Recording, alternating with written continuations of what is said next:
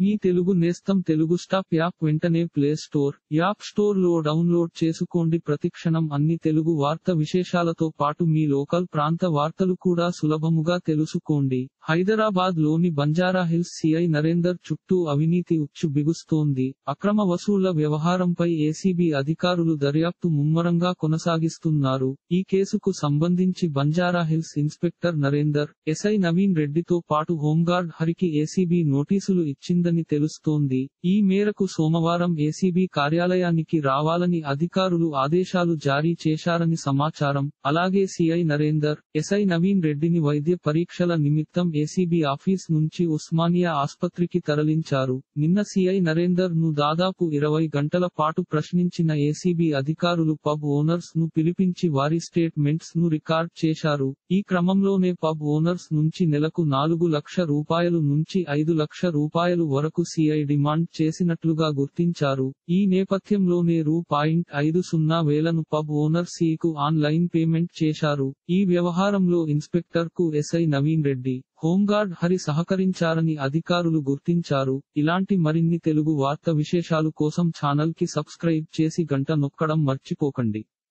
ఈ వీడియోని తోటి మిత్రులకి షేర్ చేయండి. మీ అభిప్రాయాన్ని కామెంట్లో తెలపండి.